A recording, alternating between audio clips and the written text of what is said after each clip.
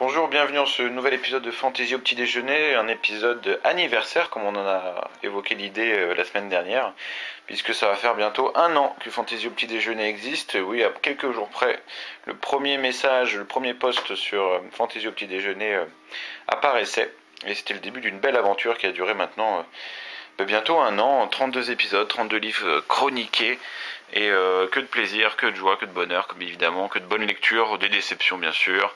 On n'en parlera pas aujourd'hui. Et, euh, de plein de bonnes choses. Merci à tous pour vos soutiens. Ceux que j'ai oubliés la semaine dernière, Algernon, euh, Maxime, Formaldehyn, Airline, etc. Vous vous reconnaîtrez. Merci à tous pour ceux qui sont là depuis le début, ceux qui viennent d'arriver. On espère que c'est, j'espère que cette aventure continuera encore pendant un moment, voire encore une année, voire plus. Euh, tant c'est un plaisir partagé, j'ai l'impression. Alors, c'est l'occasion de parler aujourd'hui, de faire un bilan un peu sur ce qu'on a lu, parce qu'on a vu quand même l'année dernière. Alors, pas mal de classiques, pas mal de titres anciens, pas mal de grands noms de la fantasy. Euh, par exemple, on a parlé du Trône de Fer, de l'Assassin Royal, de Ilium, de l'Épée de Vérité. Donc, finalement, les vraies nouveautés de 2008, il n'y en a pas eu tant que ça. Mais il y en a eu une qui m'a particulièrement plu, entre autres, hein, parce qu'on a eu beaucoup de choses quand même très intéressantes.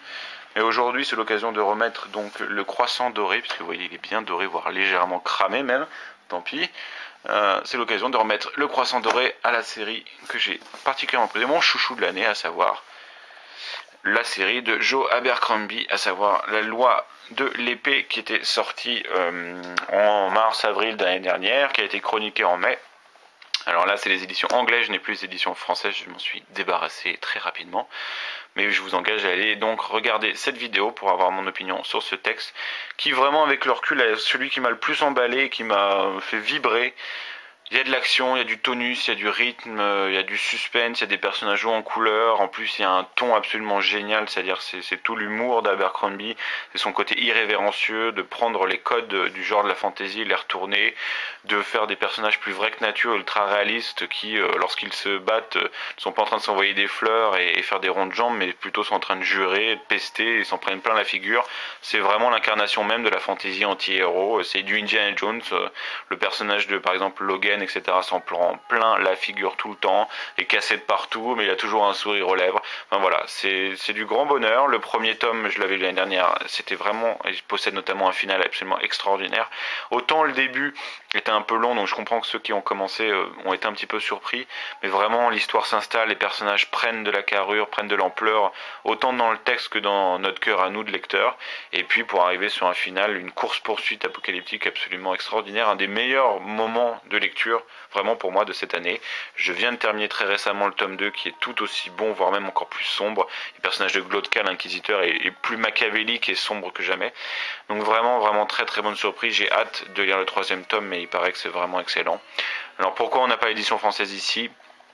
Bah, parce que malheureusement, comme je vous engage à aller voir encore une fois la vidéo, la traduction était de très piètre qualité le ton un petit peu justement euh, ordurier avait été systématiquement effacé de cette traduction, ce qui est bien dommage, ce qui fait qu'on perd toute une certaine qualité du texte. Et euh, sans parler de la couverture absolument hideuse euh, qu'avait fait J'ai lu à l'époque. Et puis deuxième raison, au-delà des qualités, c'est qu'il faut savoir que la collection J'ai lu grand format est une collection désormais morte et enterrée. Euh, quasiment mort-né à la sortie de trois séries. On en a évoqué deux lors des épisodes de Fantasy au petit déjeuner, notamment celle-là. Et elle est déjà terminée. C'est une collection qui est morte, qui a été arrêtée. Alors le deuxième tome, celui-ci, Before They Are Hang, doit sortir bientôt en traduction française, mais ce sera tout. Il faut savoir qu'il n'y a aucune date, aucune annonce pour le troisième tome. Euh, c'est une trilogie, hein, donc c'est une histoire qui se suit. Donc pour l'instant, pas de troisième tome annoncé. On ne sait pas si ça va être traduit. Mais on en parle d'un projet éventuellement que Pygmalion reprenne le catalogue. Enfin pour l'instant, c'est du vent. Donc on espère qu'un éditeur de qualité, faisant bien son travail au grand format, parce que j'ai lu, c'est très bien en poche, mais en grand format, ça reste à voir.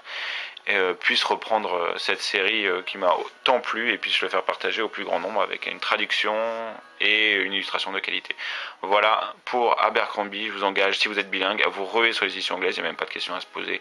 Ça a été vraiment un grand plaisir. Si néanmoins vous n'êtes pas bilingue et que vous ragez là derrière votre ordinateur en vous disant c'est pas juste, j'aurai jamais la chance de le lire, bah vous pouvez prier et mettre un cierge à Notre-Dame ou dans l'église à côté de chez vous pour espérer qu'un jour ce sera traduit à nouveau dans une bonne qualité, etc. Sinon, dans cette année, on a quand même eu quelques petites choses et moi je vais notamment parler donc de Terreur qui a été évoqué très récemment. Le Dan Simmons c'est vraiment vraiment de très bonne qualité. On est cette fois-ci dans du fantastique, euh, exploration polaire, etc. Mais toujours aussi de grand niveau ce Dan Simmons. Et ça a été encore une fois une très bonne surprise, même si très éloignée du, terrain habituel euh, de la fantasy. Donc on ne peut pas lui remettre un croissant doré parce que Abercrombie est vraiment trop fort. Mais on, on pensera à un, un croissant d'honneur quand même pour ce, qu'il a fait. Et enfin, si vous aimez le ton Abercrombie, si vous aimez un peu cet esprit différent, cette fantaisie qui se veut différente, ben vous pouvez aussi essayer Les mensonges de Locke Lamora. Certes, c'était sorti en 2007 pour le premier tome, mais le deuxième, euh, que je n'ai pas ici, euh, que j'ai toujours dans ma bibliothèque en face, euh, est toujours disponible, est sorti en 2008. Et comme certains d'entre vous, comme JC qui l'a lu, qui a particulièrement aimé, on retrouve aussi un peu cet esprit. On est très très loin des chevaliers en armure brillante et des princesses euh, en robe blanche.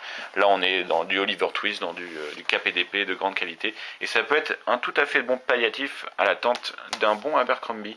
Euh, bah voilà, pour l'année 2008, on espère avoir plein de bonnes surprises. J'ai déjà entendu parler de nouveautés qui, à mon avis, vont pas mal dépoter, donc on sera là pour en parler. Je serai là pour en parler.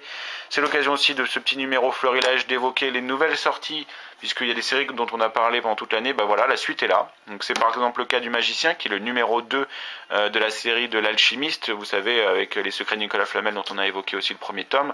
Le deuxième est là, et tout aussi bon, en plus il se passe à Paris. C'est vraiment très très sympa pour les enfants, et même pour les ados, les adultes, enfin bref, c'est super bien. L'apprenti d'Araluen, on a évoqué cette série jeunesse, méconnue malheureusement, parce que vraiment de très très très bon niveau, pour tout, tout garçon, adolescent, entre 12-15 ans, c'est vraiment génial, moi j'adore. Et euh, voilà, le quatrième tome vient de sortir et c'est carrément encore de la bataille partout. C'est très très bon.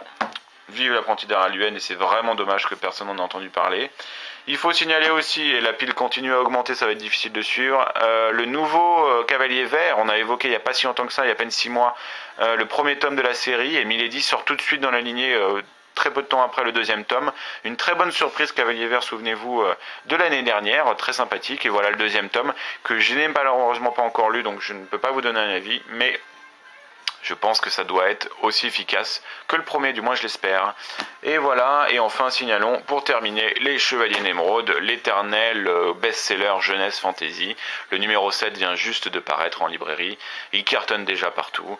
Et voilà, ça a continué, il y en a 12 épisodes en tout, donc tous les 6 mois, soyez prêts à ouvrir votre portefeuille pour votre petit neveu, petit frère, petit cousin, ou même pour vous-même. Euh, le nouveau Chevalier Némrode est là en tout cas. Voilà, donc on va faire le point. Et puis signalons enfin l'arrivée en magasin de la revue Bifrost qui est maintenant est vraiment euh, disponible dans euh, toutes les bonnes librairies. Euh, un très bon trimestriel avec un dossier très intéressant sur Shana Melville qui est vraiment un très très grand auteur de SF que je vous engage à découvrir avec Perdita Street Station ou Les Scarifiés qu'on je pense qu'on va chroniquer ici très bientôt. C'est vraiment une très bonne, un très bon dossier et pour l'occasion de découvrir un très bon auteur. Par contre, petit bémol quand même quant aux cahiers critiques, en fait aux critiques littéraires qui sont présents dedans. Euh, je me méfie toujours un petit peu de cette, euh, comment dirais-je, ce lectorat SF un petit peu qui se veut euh, fait partie d'une certaine élite. C'est-à-dire qu'il y a certains éditeurs comme Brajon par exemple qui sont ou même Milady qui sont considérés comme trop populaires, putassiers euh, ou populistes au choix, et qui donc euh, ne méritent même pas une seule chronique, sachant qu'on sait que c'est les plus gros producteurs du genre, et c'est eux qui sortent le plus grand nombre de nouveautés.